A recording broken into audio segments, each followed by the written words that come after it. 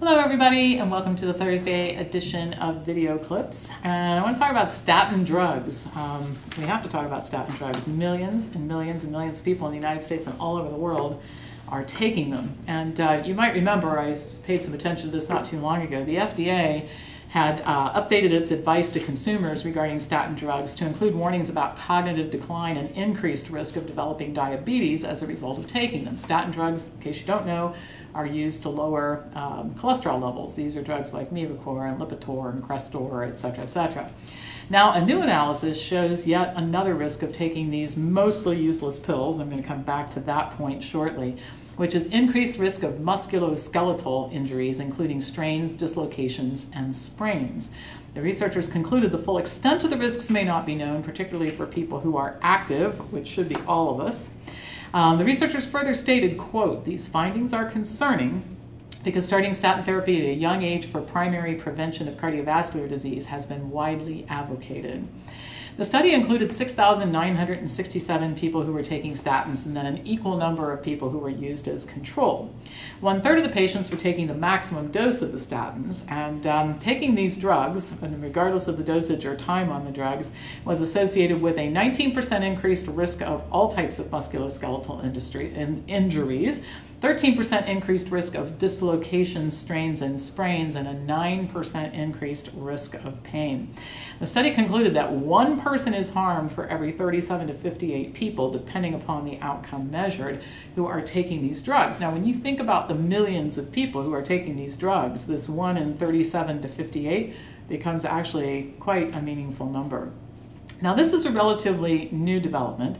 And the researchers concluded that more research is needed. Of course, there's always more research needed, particularly for people who continue to be physically active, and we should be encouraging everybody to be physically active. Um, they also stated that more understanding of all the risks associated with taking statins was needed to provide more complete benefit to both, uh, more complete data for both cost benefit and cost effectiveness analysis of uh, taking statin drugs.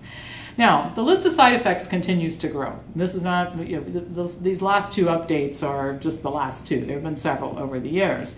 And based on their limited efficacy, I don't know how many of you know this, but Crestor reduces the risk of a major cardiovascular incident by about 1.2%, Lipitor by 1.6%.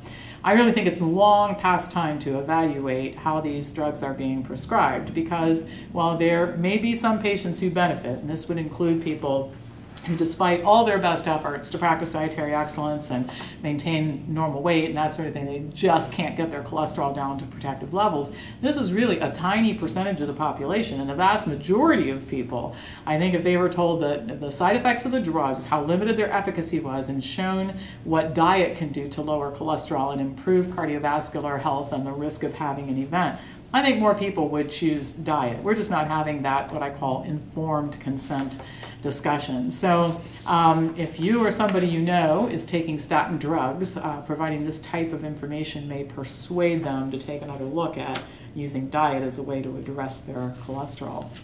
And uh, in case that's not enough to make you pay attention to practicing dietary excellence, this new study shows that a plant-based diet can result in better health outcomes and reduce mortality rates. It's not new, but there was a little bit of a new twist to this study in that it looked at different types of vegetarians and concluded that some vegetarian dietary patterns are definitely better than others, which I've been talking about for a long time. So this research was conducted at Loma, Uni Loma, Linda University, and it looked at death rates for tens of thousands of people and divided these people into five groups people who were non vegetarian, semi vegetarian, pesco vegetarian, lacto ovo vegetarian, and vegan. You didn't know there were so many categories of vegetarian. There are more than that. This was just the five categories they used.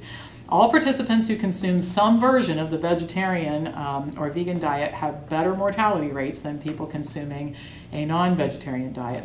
Men had a significant redu reduction in their risk of a cardiovascular event if they consumed more of a plant-based diet um, than their meat-eating counterparts. The same thing wasn't observed necessarily for women. Now, there were differences between the vegetarian groups that were um, worth talking about. For example, British vegetarians and U.S. Adventist vegetarians eat differently. The Adventists consume more fiber and vitamin C than the Brits. And the British vegetarians didn't have lower mortality rates than their non vegetarian counterparts. So, so the type of vegetarian you decide to become, or plant eater you decide to become, does make a difference.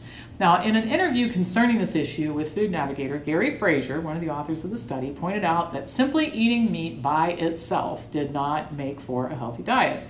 He pointed out the difference between the ultra healthy uh, vegetarians who get their calories and, and uh, protein from foods like whole grains and legumes, they eat a lot of vegetables and fruits and that sort of thing, and what he called pudding and cake vegetarians. I've always called them the junk food vegetarians who are eating veggie shred cheese and you know, fruit juice, sweetened cookies, and that kind of thing. And, and um, he also pointed out that there, it's difficult to construct research studies on vegetarians because of the fact that vegetarian diet means so many different things to so many different people. I mean, I know a lot of people who identify themselves as vegans and they aren't eating anything like a you know, health promoting diet, in my opinion. Now, in spite of these difficulties, David Jacobs stated at an event called the uh, International Congress on Vegetarian Nutrition at Loma Linda University, and I think this quote is worth repeating to you. In general, plant centered and vegetarian diets have more favorable chronic disease outcomes. This is one of the most consistent findings of nutritional epidemiology. It is protective to eat a plant based diet. Jacobs went on to say that meat's not the enemy. In the absence of meat, he echoed Fraser's comment, not was not um, as important as the presence of more phytochemical rich foods. And this is what I've been saying for a long time. Just eliminating meat doesn't mean that you're eating a health promoting diet. You can reduce the animal food consumption down to two or three times a week, increasing plant consumption dramatically to fill in the gaps left behind when you took all that animal food out of your diet. That's really, that dietary pattern is really where the action is. So I'm glad to see that this discussion of different types of vegetarianism matter, you know, they do matter, is starting to become a little more mainstream. And my hope is that at some point in time, this discussion will lead to some definition of what a health promoting plant-based diet is that we can all buy into and um, use as the gold standard in conducting research and that sort of thing and use as a reference. And I know that probably sounds like a pipe dream, but you know what? I'm going to keep hoping for good things to happen because sometimes if you just think it long enough, you can make it come true. So that's all for now. Have a great day and a great weekend. As usual, pass this on to anybody you think should watch it, and I will be back to you next week.